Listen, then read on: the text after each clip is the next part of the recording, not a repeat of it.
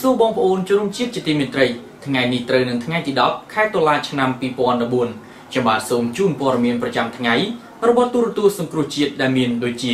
ប្រធាននិងអនុប្រធានរួមទាំងថ្នាក់ដឹកនាំគណៈបកសង្គ្រោះជាតិខេត្តកណ្ដាលក្រុមនឹងដង្ហែអង្គកឋិនទានទៅកាន់វត្តព្រៃនិគមស្ថិតនៅក្នុងស្រុកកោះធំខេត្តកណ្ដាលក្រុមប្រជាពលរដ្ឋនិងព្រះសង្ឃបានប្រើវិធីសាស្ត្រធ្វើសមាធិនៅថ្ងៃចុងក្រោយប្រឆាំងទៅនឹងការវង្វេងប្រវត្តិសាស្ត្ររបស់ជនជាតិយួន ព្រះភិក្ខុដេវីតដែលគង់នៅខេត្តសៀមរាបត្រូវបានដោះលែងបន្ទាប់ពីបានរកឃើញថាគ្មានកំហុសដោយការចោទប្រកាន់របស់អាជ្ញាធររួមទាំងប្រសាសន៍របស់ប្រធាននិងអនុប្រធានគណៈបកសង្គ្រោះជាតិក្នុងពិធីសំណេះសំណាលជាមួយនឹងបងប្អូនប្រជាពលរដ្ឋនៅក្នុងខេត្តបាត់ដំបងដែលបានធ្វើឡើងកាលពីថ្ងៃទី4ខែតុលាកន្លងទៅនេះបាទជាបន្តទៅទៀតនេះសូមបងប្អូនជនរួមជាតិតាមដានព័ត៌មានពិស្ដា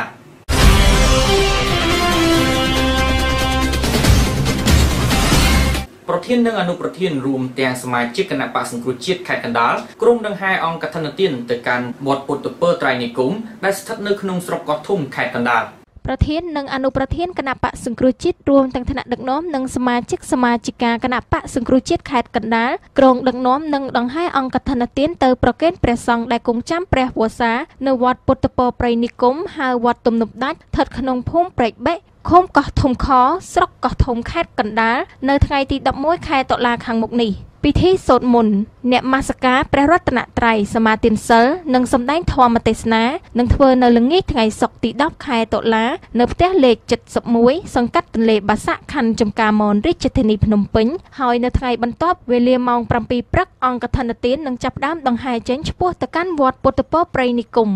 យោងតាមរបាយការណ៍ពីថ្នាក់ដឹកនាំគណៈបកសង្គ្រោះជាតិគ្រប់ខេត្តរាជធានីពួកគេក្រុងនឹងដង្ហែអង្គកឋិនទានទៅកាន់បណ្ដាវត្តនានាយ៉ាងតិចឲ្យបានមួយក្នុងខេត្តសាមីការធ្វើដូចនេះគឺដើម្បីជួយលើកដំកើងវិស័យព្រះពុទ្ធសាសនា និងក៏ជាការរួមចំណែកក្នុងការកសាងសមិទ្ធផលផ្សេងៗសម្រាប់បម្រើឲ្យវិស័យនេះដែលកំពុងជួបការលំបាកនៅតាមទីវត្តអារាមពិសេសវត្តដែលកំពុងមានស្ថានភាពខ្សត់ខ្សោយ ប្រជាពលរដ្ឋនិងព្រះសង្ឃបានប្រើប្រាស់វិធីសាស្ត្រធ្វើសមាធិ នៅថ្ងៃចុងក្រោយប្រឆាំងទៅនឹងការវង្វេងប្រវត្តិសាស្ត្ររបស់ជនជាតិយួនព្រោះនៅក្នុងចិត្តរបស់យើងដែលយើងប្រកបដោយសន្តិភាពប្រកបដោយចិត្តស្ងប់ទៅដល់មនុស្សសត្វទាំងឡាយព្រះសង្ឃនិងប្រជាពលរដ្ឋនៅតែបន្តការចូលរួមបាតកម្មទាមទារឲ្យទូតយួនសុំទោសពលរដ្ឋខ្មែរនៅឡើយនៅថ្ងៃទី8ខែតុលានេះការតវ៉ានេះព្រឹកនេះធ្វើនៅទីលានប្រជាធិបតេយ្យតែធ្វើវិធីសាស្ត្រចុងក្រោយសម្រាប់ការតវ៉ាលើកនេះគឺការធ្វើសមាធិប៉ុន្តែយ៉ាងណាក៏ដោយក៏អ្នកតវ៉ាមួយចំនួននៅតែបន្តការចែកខិត្តប័ណ្ណនិងបិទ sticker អំពាវនាវឲ្យពលរដ្ឋខ្មែរឈប់ប្រើប្រាស់ផលិតផលរបស់យួនផងដែរបន្ទាប់ពីការតវ៉ាថ្ងៃនេះបាតកោនឹងផ្អាកសកម្មភាពតវ៉ាប៉ុន្តែអះអាងថានឹងប្រមូលផ្ដុំគ្នាឡើងវិញនឹងកាន់តែធំឡើងធំឡើងដើម្បីទាមទារឲ្យអ្នកនាំពាក្យស្ថានទូតជួនសុំទោសពលរដ្ឋខ្មែរឲ្យទាល់តែបានចំពោះការវង្វេងប្រវត្តិសាស្ត្រយល់ច្រឡំថាទឹកដីខ្មែរក្រោមគឺជាទឹកដីដូនតាយួន ព្រះភិក្ខុដេវីតដែលគង់នៅខេត្តសៀមរាបត្រូវបានដោះលែងបន្ទាប់ពីរកឃើញថាគ្មានកំហុសដោយការចោទប្រកាន់របស់អាជ្ញាធរ នៅព្រឹកថ្ងៃទី8ខែតុលានេះព្រះភិក្ខុសង្ឃដេវីតត្រូវបានតុលាការខេត្តសៀមរាបដោះលែងឲ្យមានសេរីភាពឡើងវិញហើយបន្ទាប់ពីរកឃើញថាលោកគ្មានកំហុសដោយការចោទប្រកាន់របស់អាជ្ញាធរកាលពីថ្ងៃទី18ខែកញ្ញាកន្លងមកថាព្រះអង្គបានប្រើប្រាស់គ្រឿងញៀនផឹកស្រា មានស្រីនិងប្រើហិង្សាលើសមត្ថកិច្ចហើយឈានដល់ការចាប់ខ្លួនភ្លាមៗនៅនឹងកន្លែងបន្ទាប់ពីការដោះលែងពីពន្ធនាគារមានប្រជាពុទ្ធបរិស័ទនិងព្រះសង្ឃជាច្រើនអ្នកនឹងអង្គ បានរងចាំទទួលនឹងបានបំពាក់ស្បង់ជីពរដល់ព្រះអង្គដេវីតវិញហើយធ្វើដំណើរទៅកាន់វត្តពោលង្កាស្ថិតក្នុងឃុំស្លក្រាម ក្រុងសៀមរាបខេត្តសៀមរាបកន្លែងដែលព្រះអង្គគង់នៅ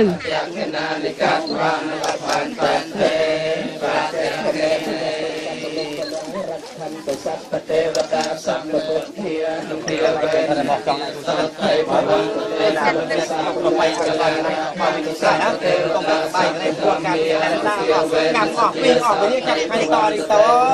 ងគួរជំរាបថា នៅពេលចាប់ឃាត់ខ្លួន សមត្ថកិច្ចបានបង្ហាញផុសតាងជាច្រើន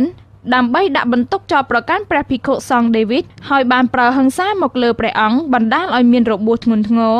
ប៉ុន្តែនៅពេលនេះបែរជាតុលាការរកឃើញថាលោកគ្មានទោសកំហុសដូចនេះនាំឲ្យមានការយល់ឃើញនិងចោទជាសំណួរថាតើក្រុមសមត្ថកិច្ចបានផុសតាងទាំងអស់នោះមកពីណា ហើយតើហេតុអ្វីបានជាសមត្ថកិច្ចហ៊ានចាប់ព្រះកាយដោះស្បង់ជីពរនិងវាយព្រះសង្ឃដេវីតបើព្រះអង្គដេវីតពុំមានកំហុសដូចនេះសមត្ថកិច្ចនិងចៅអធិការវត្តពោលង្កាត្រូវតែទទួលខុសត្រូវហើយទទួលទោសពីបទបង្កើតផុសតាងមួលបង្កាច់បុគ្គលគ្មានកំហុស ព្រោះมันអាចអាងតែខ្លួនមានអំណាចហើយចេះតែចោទប្រកាន់បង្កើតរឿងរ៉ាវបង្កាច់បង្ខូចជនស្លូតត្រង់តាមអំពើចិត្តនោះទេលោកអ្នកនាងជាទីមេត្រីកាលពីថ្ងៃទី4ខែតុលាឆ្នាំ2014កន្លងទៅនេះប្រធាននិងអនុប្រធានគណៈបកសង្គ្រោះជាតិបានចុះជួបសំណេះសំណាលជាមួយនឹងបងប្អូនប្រជាពលរដ្ឋនៅក្នុងទីរួមខេត្តបាត់ដំបងនៅក្នុងកម្មវិធីនោះលោកប្រធាននិងលោកអនុប្រធានគណៈបកសង្គ្រោះជាតិបានជម្រាបទៅកាន់បងប្អូនប្រជាពលរដ្ឋនិងជាម្ចាស់ឆ្នោតអំពីគោលជំហររបស់គណៈបក វិធីសាស្ត្រដែលគណៈបកកំពុងធ្វើនិងគោលដៅរបស់គណៈបកសង្គ្រោះជាតិចង់បាននៅពេលខាងមុខបាទជាបន្តទៅទៀតនេះសូមបងប្អូនជួបរួមជាតិតាមដាននៅសកម្មភាពទាំងនេះដូចតទៅគណៈបកនយោបាយមួយដែលខ្លាំងដែលមានជ័យអាចដណ្ដើមយកជ័យជំនះបានអាស្រ័យលើកត្តា3ទី1គឺ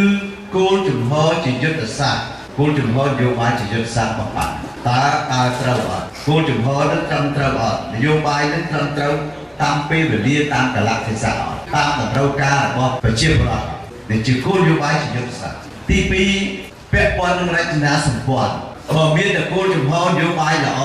តែរចនាសម្ព័ន្ធអត់មានក៏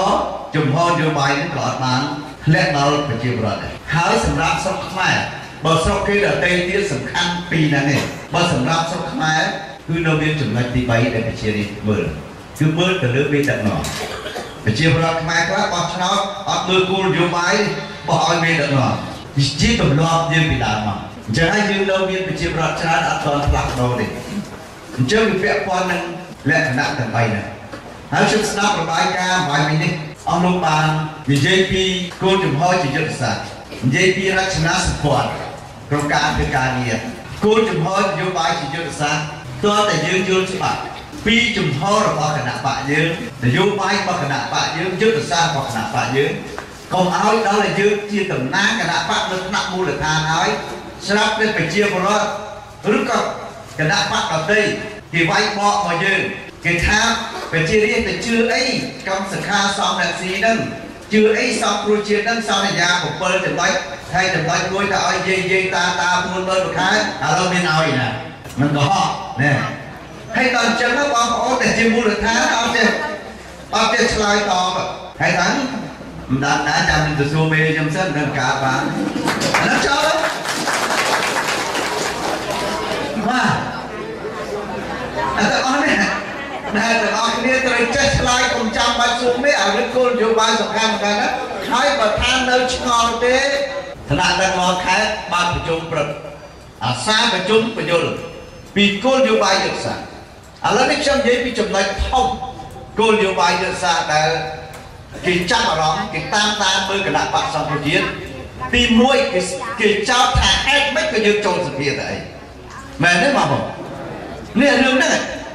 តើយុទ្ធសាស្ត្ររបស់យើងចូលសភាហ្នឹងតើមាននយោបាយយុទ្ធសាស្ត្រយ៉ាងណាអានោះត្រូវទាំងអស់គ្នាដែលជាអ្នកនាំពាក្យរបស់គណៈបកនេះ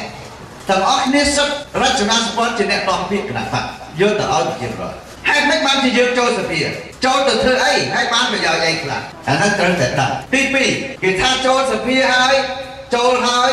ចូលជាមួយគណៈបកប្រជាជនហើយដូចតែហ៊ុនទៅបាច់ទេគេថាយ៉ាងមែនទេបងបាទហើយចេះឆ្លើយទេណាបាទត្រង់អស់ហ្នឹងដែលរចនាសម្ព័ន្ធយើងត្រូវរៀបចំអទី3គេថាបោះឆ្នោតតែអីទៀតបោះឆ្នោតមិនឈ្នះ បើឈ្នះហើយឲ្យទៅគេវិញការពារជ័យជំនះបានផងហ្នឹងអានេះក៏គេចោទយើងដែរអញ្ចឹងទាំងអស់នេះសុទ្ធតែជានយោបាយយុទ្ធសាស្ត្រដែលសកម្មជនគ្រប់ជាន់ថ្នាក់ត្រូវយល់ហើយខ្ញុំជឿថាជួនកាលយើងនិយាយមាត់ទាំងបងប្អូនចាំម្ដងទេយើងត្រូវមានជាឯកសារជាឯកសារបើតែខ្ញុំយកមកនិយាយកន្លះម៉ោងមួយម៉ោង